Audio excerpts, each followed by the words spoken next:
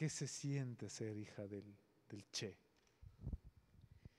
Mira, siempre explico que lo importante no es de quién tú eres hija, sino si realmente llegas a ser útil como ser humano a otro ser humano. Entonces sí, entonces sí comenzaste a ser una persona, una persona que valga la pena.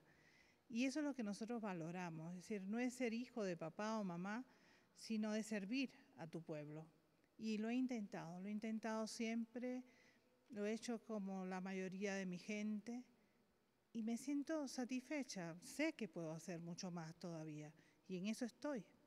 Pero ese servicio a la sociedad tiene que ver con un legado del, Che Guevara. Vos te preguntaba qué tiene se siente así? que ver con un legado de un pueblo. Mm, Yo pude haber sido hija del Che Guevara, haberme educado en otro lugar y a lo mejor nada, simplemente eso, una hija de alguien.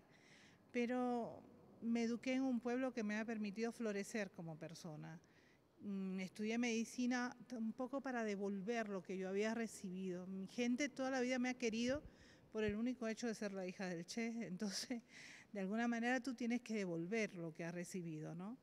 Y por eso empecé a estudiar medicina, precisamente. Y después me permitió ir, por ejemplo, a Nicaragua, Angola. He trabajado aquí en el Ecuador, también en Cotacachi, en Esmeralda. Y eso, eso me hace muy bien porque me hace servir a otra persona, me hace conocer a otra gente, otras culturas, aprender, siempre aprender. Entonces mi pueblo es quien me ha permitido esto, porque la mayoría de los cubanos lo hace igual y no son los hijos del Che. Pero entonces tiene que ver más bien con un, eh, con un legado, con algo que te da esa, ese proceso revolucionario que se, se originó en Cuba, este sentimiento de servir a la gente. Claro, así nos han educado, pero también en el caso mío, por supuesto, está mi madre, que desde muy pequeña inculcó los principios de mi papá y además de eso un poco como que nos enseñó que teníamos que devolver lo que habíamos recibido y en ese sentido nosotros somos fruto de- del internacionalismo, porque si mi papá no hubiera tenido esos conceptos, esos ideales, nunca hubiera llegado a Cuba, no hubiera conocido a mi mamá y no estaría hablando yo hoy aquí.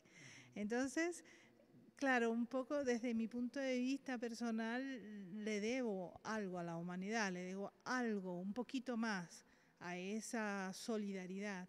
Entonces, claro, es un poco pagar la deuda humana. ¿Cómo era el Che Papá? De lo poco que puedes recordar. Muy poco, recuerdo, desgraciadamente lo disfruté muy poco, pero papi era muy cariñoso, muy besucón, pero también muy exigente. No permitía las malas crianzas, mm, las cosas mal hechas. Trataba siempre de educar, aunque no siempre lo conseguía. Por ejemplo, una vez eh, invitó a un amigo suyo personal a la casa a comer. ¿Qué pasa?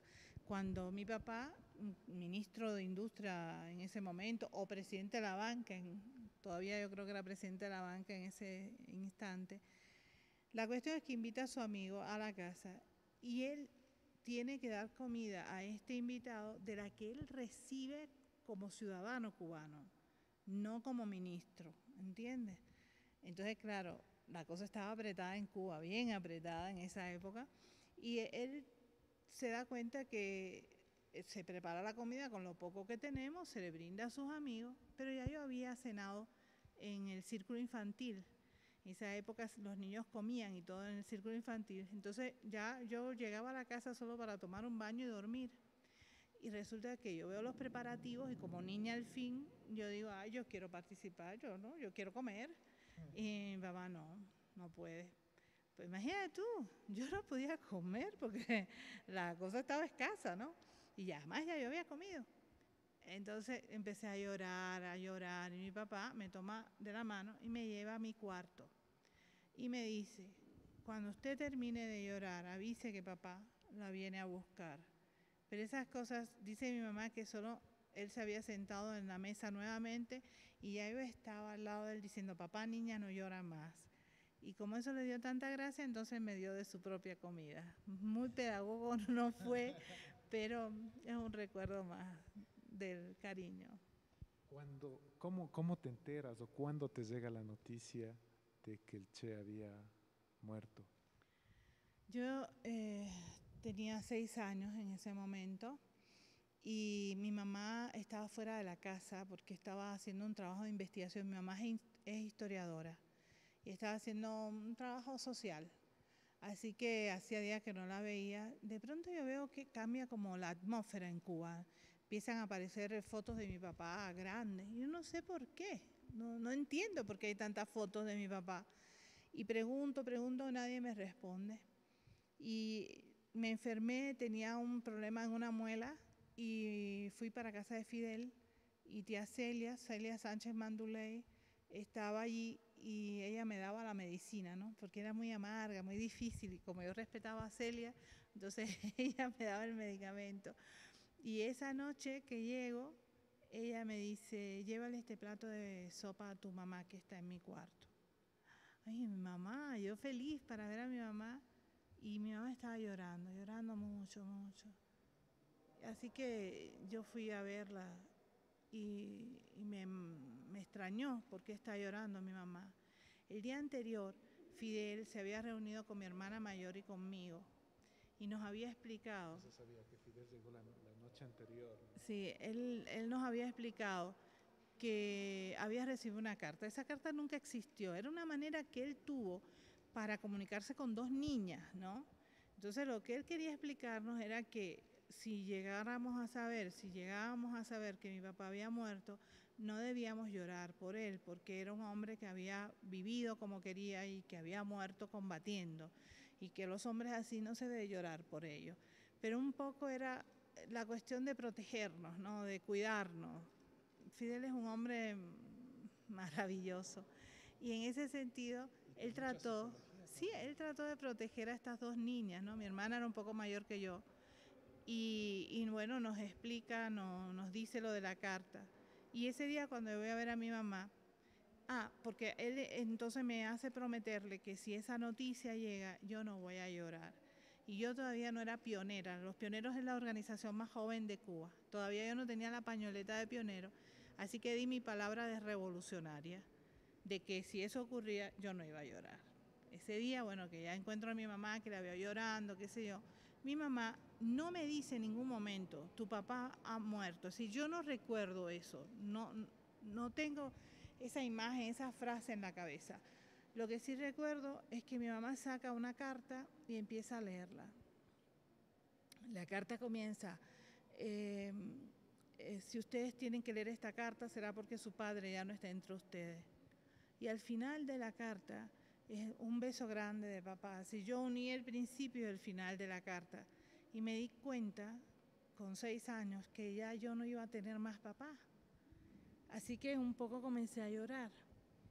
Pero me acordé de mi tío Fidel, que también era un padre para mí, y me incorporé en la cama y le dije a mi mamá, no podemos llorar. Mi papá murió como él quería, no se pueden llorar por los hombres así. Algo así le dije.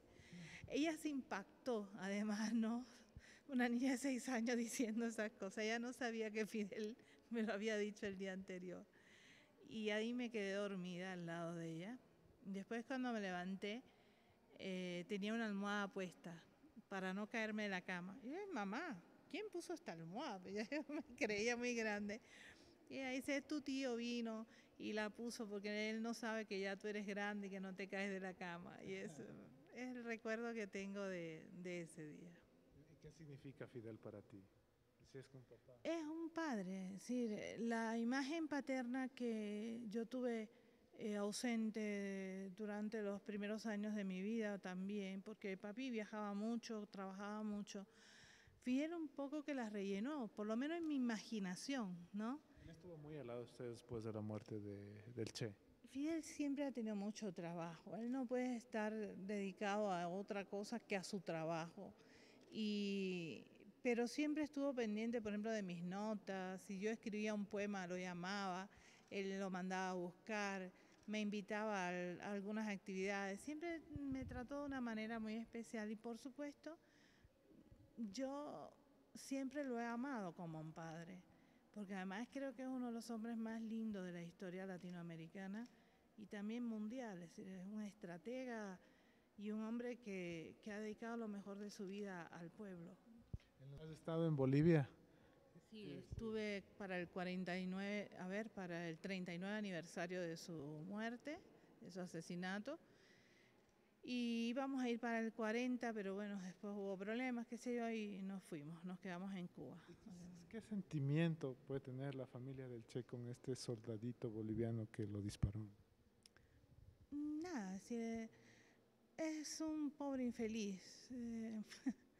Da pena cuando tú sabes que un hombre es manipulado de esa manera, no es capaz de darse cuenta de lo que está haciendo, del crimen que está cometiendo.